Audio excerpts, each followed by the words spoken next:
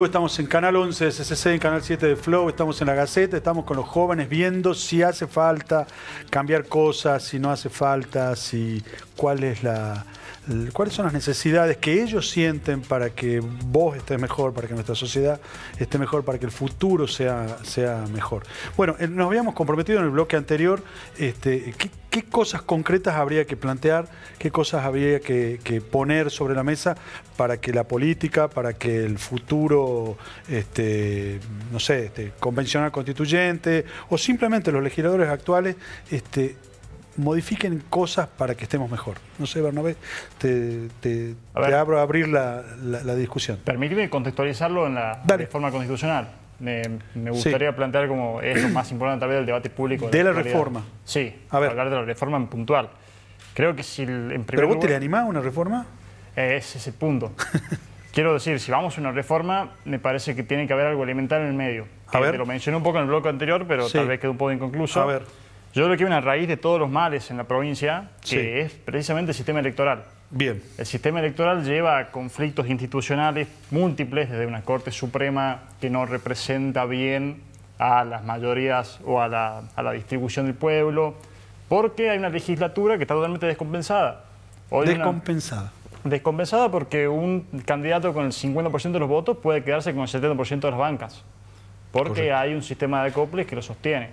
También, no sabemos por qué, cómo gasta la legislatura realmente, porque hay un sistema informal de financiamiento político de las campañas con acoples, que son carísimas, ineficientes, no representan bien, y todo lo demás, que precisamente de algún lado viene el financiamiento. Y que el Tucumán no haya transparencia pública no es casual. No es falta de voluntad política. O en realidad sí es falta de voluntad política, pero hay una conveniencia política.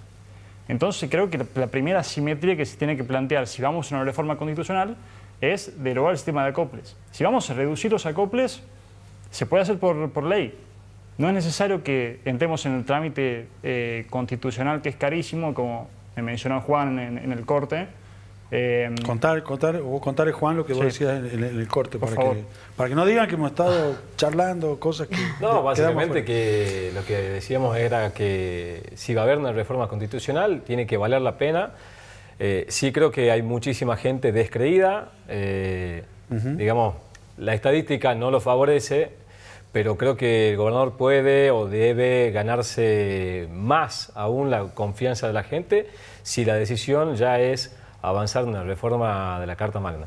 Entonces, básicamente decíamos, si es una reforma para tratar estos temas, como hablábamos con, Berna, el costo que conlleva una reforma constitucional es altísimo, digo, que valga la pena, que toque temas centrales y tal vez se pueden mostrar ciertos actos que, digamos, que den confianza al, votante desde, ahora, ¿no?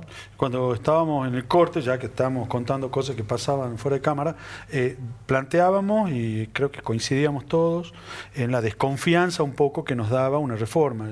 El, riesgo de que quede abierto a que cambien cosas eh, en detrimento. Y no lo decimos no lo, decimos, no lo decimos porque somos desconfiados, sino porque, como vos decís, este, Juan, la estadística, la experiencia ha hecho por ejemplo, que te nos acople ahora, ¿no? Eh, Milagro, ¿qué cosas pensás que eh, son necesarias? hay que hacerlas ya, hay que buscar, pedir que, empiecen a cambiar.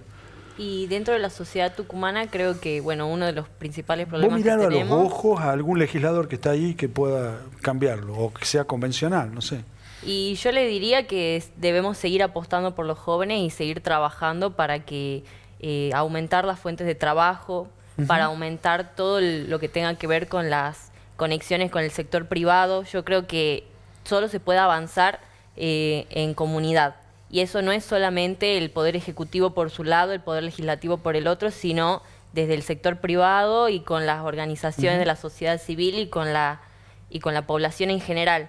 Pero eso también necesita, como decían los chicos más, más adelante, eh, que haya una inversión tanto para que la gente pueda estar formada y que te pueda tomar esas decisiones, que pueda entrar en ese debate. Porque cuando hablamos de reforma constitucional, creo que muchas son las personas que se quedan fuera de ese debate porque no conocen qué implica, porque no conocen qué cosas se pueden cambiar y qué no. Entonces también debemos, por lo menos si es que esto se desea realizar, abrirle los ojos a la gente y mostrarle a qué se están enfrentando y qué es lo que se puede hacer. si bien hemos visto, creo yo, que la sociedad hoy en día pide cambios muy abruptos a veces, Sí. pero yo creo que deviene también por esta desconfianza que tenemos en el sistema político.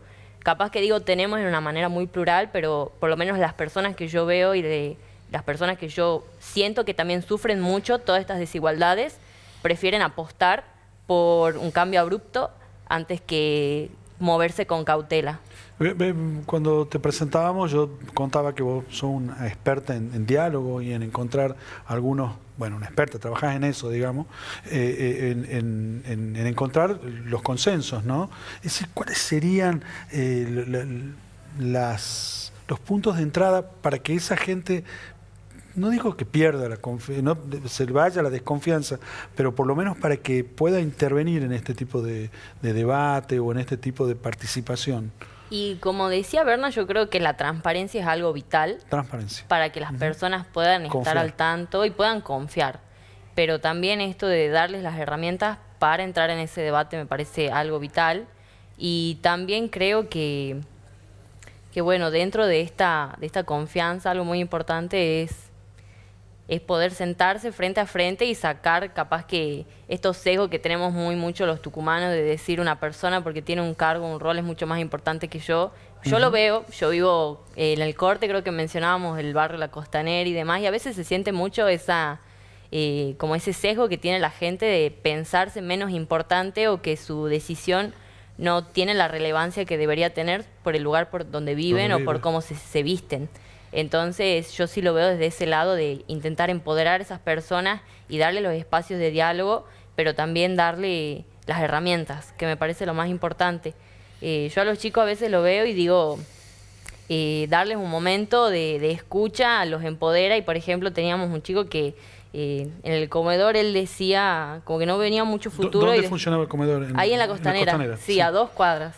O sea, ahí cerca de todo y venían varios chicos que recogen la basura, chicos que van a la escuela, que a veces, me acuerdo que la zapatillita, ellos no tenían plantilla, tenían que usar un voto. Entonces, hay cosas que son muy fuertes y que la sociedad tucumana a veces es tan desigual que nos olvidamos que esas cosas existen y que están a menos de 10 cuadras de, de donde estamos nosotros ahora y que a veces ellos no tienen las mismas prioridades que nosotros y eso no lo hace que esté mal. Entonces también hay que estar abiertos a ese diálogo de decir, eh, no se trata de contentar a la mayoría, sino que hay que ver las necesidades particulares de cada uno, porque creo que eso es lo que hace a la verdadera democracia. No solo el contrapeso de la mayoría, sino darle a cada quien lo que le corresponde y a cada quien lo que lo pueda ayudar a progresar. Eh, Nazarena, eh, los jóvenes, ¿por qué necesitan diferenciarse? Eh, ¿Es la sensación de que no hay un lugar? Eh, no, yo primero en realidad quería como hacer un aporte con respecto a lo Yo que es el tema de la... eso era- voy a hacer, voy a hacer, te Pero voy a vamos, responder, vamos. pero primero No, quiero hablar bien. sobre esto. O sea, al final del día también estudio o estudié sobre eh, las organizaciones institucionales y las instituciones. Eh, hablaron de la confianza y de la desconfianza. Eh, la confianza que es, es una relación positiva o de valoración positiva para con una institución, para con una persona. Eh, que dentro de un proceso de reforma constitucional o dentro de un proceso de armado organizacional institucional, la Carta Magna, lo más importante a nivel institucional que tenemos como provincia, eh, no haya confianza es realmente eh, bastante complicado. Eh, y creo que ahí los decisores, los tomadores de decisiones políticas de todos los espacios políticos que hoy son representantes tienen que empezar a generar los espacios entre ellos para generar la confianza entre ellos y para afuera.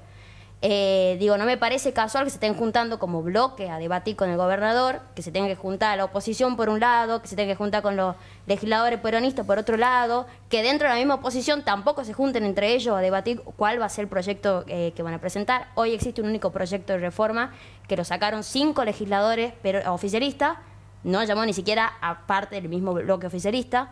Eh, seguramente va a salir otra declaración de necesidad, o sea, otro proyecto de, de reforma por parte del de- Poder Ejecutivo. Sí, por parte del Ejecutivo, o- pero también por parte de la oposición. Entonces digo, ¿cuál es el espacio entre que están buscando entre ellos? Como la responsabilidad política y, y- y pública ciudadana que tienen también de ser representante para generar esa confianza y para mostrar a la sociedad que por lo menos están juntando todos los 49, más el gobernador y el, y el vice, a, a hablar de qué es lo que efectivamente va a pasar. Por lo menos que muestren eso. Eh, creo que no lo deben, efectivamente no lo deben, todos los espacios políticos. Bien. Con respecto a eh, por ¿Me qué los jóvenes la pregunta? no, con respecto a por qué los jóvenes necesitamos diferenciarnos y porque yo, por ejemplo, estoy en una organización del tercer sector eh, que nos caracteriza la diversidad. Entonces yo me puedo juntar con un pibe libertario, con un pibe peronista, con un pibe macrista, con un pibe que viene del tercer sector y es empresario, con un pibe que labura el reciclaje y un pibe que labura en Barrio Popular de Tucumán. Y te aseguro que por lo menos me voy a sentar, que es algo que hoy en la política tucumana no está pasando. Y me voy a sentar ¿Pero con por qué? todo. Porque hablan tu mismo idioma, tienen las mismas No, pero porque veo en el otro. eh, Hay una cuestión que ya te juro pasa hasta por lo moral y lo cristiano. Veo la existencia del otro. Veo que el otro es una persona que piensa que Pero qué que- fuerte lo que estás diciendo, porque estás diciendo que la, no sé si decir la política para no entrar en, en un lenguaje mileísta, pero es decir, que, el- que, que- que no están mirando desde el poder al otro. Eso está diciendo. No, o sea, no eso es lo que poder, interpreto. Veo la construcción de. O sea, para mí, uno mismo se construye a partir de lo que uno es, pero también a partir de lo que el otro es. Y trato de diferenciarme, pero también tengo que acercarme. Eh, que- Vivo en una sociedad. Pero yo creo que ahora hay muchos canales de comunicación abiertos y es algo que no pasaba. Yo no creo que el joven necesite diferenciarse. El joven es diferente. Venimos con otro, o sea, claro. venimos, yo tengo 34 años, to- eh, estoy medio, o sea, no digo que sea viejo, pero digo, he conocido las generaciones, Sí, no, pero, vos ya te sentís viejo, pero ya uno de nos 25 vamos a pelear en años, uno de 28, 25 años no tiene la misma cabeza que uno de 35. O sea, en muy poquitos años hay una gran diferencia. Sin Experiencia. embargo, ¿eh? Experiencia, digo. sí, que tampoco te digo yo con 34 años que tengo la experiencia, digamos, es lo que Pero, uno pero- va... no sé, termina, termina. No, te no, quiero digo que interrumpir. uno es diferente, digamos, pero no es que necesite. Pero ¿por qué un AGE, por ejemplo, jóvenes empresarios, este, no, no puede estar en, en un sector empresario, digamos, por decir... No, de hecho, o- todo lo contrario, Fede, nosotros como un AGE, ¿Por qué necesita marcar el- la juventud ahí? no, en No- realidad... No, hace falta. Bueno, porque hay formas distintas y a veces eh, lo que busca el joven es la rotación, la innovación. El joven es mucho más discutidor. Hay organizaciones empresariales o cámaras donde están lideradas hace muchísimos años por una misma persona y eso no va a pasar en una organización como un AGE, digamos. Yo soy vicepresidente de un AGE Sí. Argentina y presidente de un AGE Tucumán. Tucumán, sí. Y yo sé que ya voy tres años en Tucumán, dos eh, un año y medio en, en un AGE Argentina, y tengo que darle el lugar a alguien más con mejores ideas que, que venga a hacerlo totalmente diferente. O sea, creo Y, que y es un ahí. problema, y es un problema de, de- de los adultos, de los que somos más viejos, digamos, No, tal no vez. digo de todo, o sea, pero digo, es algo necesario. El recambio es necesario. Perfecto. Es la construcción del liderazgo a partir de entender que el liderazgo es generar nuevos líderes. Que no necesariamente, o sea, Bien. que puede haber una bueno. prescindencia de mí tranquilamente porque hay nuevos líderes que buscan transformar de igual manera o mejor que yo. Totalmente. Eso está buenísimo. Vos preguntaste, empezaste preguntando en la jornada por cómo acercar al joven al sistema Sí. Donde todo lo que está describiendo Nazarena y lo que describió Juan no pasa. El intercambio entre sectores, entre personas de distinta representación casi que no sucede, casi queda una palabra prohibida. O se ve poco, se ven situaciones atípicas. Ahora vemos diálogo entre sectores y estamos asombrados de esto cuándo pasó. Tampoco sabemos si es genuino incluso. Este diálogo intersectoral es genuino, es humo, eh, se van a llegar a reformas qué de difícil que haya un diálogo no genuino. Eh, No, para mí es totalmente veo, o sea, posible. pero eso llama la atención. El diálogo no genuino, per- perdón, Sí. ahí te dejo. El diálogo no genuino es una maniobra tal vez cotidiana. Pero yo me imagino que cuando vos estás en un diálogo, dejas todo tu verdad, dejas todo lo que vos pensás. Pero viene desde el lado político. Yo te convoco al diálogo, sí. eh, no te tenemos un audio muy famoso de un ex gobernador que decía, puedo decirle que sí, después hacemos lo que queremos. ¿Sí? Bueno, Él es, él es educado, respetuoso, está refiriéndose a el actual senador Juan Mansur. Eh, chicos, tenemos que cerrar, les pido disculpas, porque me quedaría mucho tiempo charlando, pero les pido como cierre, eh, dentro de 60 años, dentro de 60 años, este, ustedes van a, van a ver este programa, lo van a poder repasar. Este, yo no. Así que cuéntenme, y bueno, no, escuchame. Este, ¿qué, qué les gustaría eh, ver en ese, eh, dentro de, de 50 años, 60 años, en un futuro un poco más lejano, cuando ustedes ya este, estén mirando más como viejos la- eh, esto? Empezá vos, Nazaret. Bueno, eh, dentro de 50 o 60 años, cuando yo tenga 84, A ver, a ver. a cuando ver, yo tenga la- la- 84, eh, la me Nazarena de gustaría... 84 años, ¿qué quiere ver? Y me ¿O qué- qué gustaría, estaría contenta nada, me gustaría estar con mis nietos y saber que mis nietos tienen una provincia pujante, una provincia que volvió a ser faro del NOA, una provincia que resalta por sus universidades, donde se invierte en ciencia y tecnología, una provincia que tiene todos sus barrios populares urbanizados, eh, que el esfuerzo que hacen las maestras, los enfermeros, la- eh, todos los policías, el esfuerzo que hacen los tucumanos todos los días que se levantan a las 6 de la mañana a trabajar, vale la pena porque tienen una provincia eh, que crece, eh, donde pueden ser felices, donde se pueden realizar eh, y donde se construye una cultura de la tucumaneidad, eh, donde da orgullo decir que sos tucumano, digamos. Y hoy podemos poner semillita, digamos. ¿Sí? Todos los días ponemos la semillita acá. ¿Bernabé? Yo en primer lugar quiero ver a Atlético campeón de la Libertadores. Muy bien. Eh, Muy bien. Primero que nada. no. En, segundo, no, en segundo lugar, creo que hay cosas que deseo ver antes de los 84 años. Perdón que haga esa, esa, ese, Es una metáfora muy ese simple. cambio, sí. Eh, bueno, quiero ver eh, ficha limpia, boleta única, cambios en transparencia, en ética y en moral que son elementales. Vuelvo al comienzo, tal vez soy repetitivo incluso, pero realmente angustia ver que muchos, muchos de las asimetrías que queremos resolver, como que un pibe no tiene zapatillas, que un pibe no puede comer, etcétera, están trabados por cuestiones totalmente alejadas de la realidad, alejadas de la realidad y perversas para mantener un sistema perverso. Entonces, el yo de 84 años quiere ver eh, transparencia, de una división de poderes que funcione, una justicia que no sea eh, oficialista este, bajo la alfombra. Con los ojos Eh, vendados. Exactamente.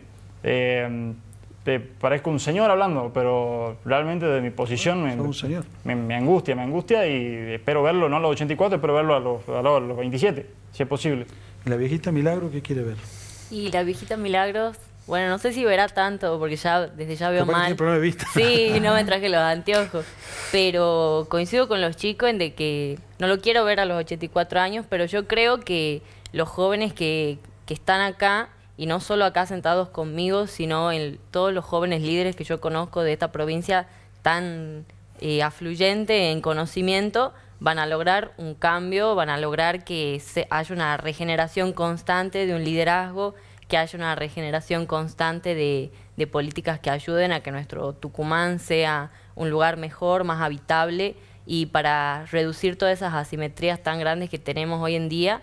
Y yo creo que es posible, creo que va a pasar porque conociendo a las personas eh, motores de cambio hoy en día, creo que la juventud, es, si es algo, es pluralista, es, le gusta compartir, le gusta hablar, le gusta sentarse y así como dicen los chicos, tomar un café y decirte las mil y una, pero siempre van a llegar a un acuerdo. Entonces yo tengo mucha y deposito muchísima confianza en todos los jóvenes que yo conozco y todos los que espero conocer en de que Tucumán va a ser un lugar muchísimo mejor en no tantos años seguramente. Juan, te tocó el cierre.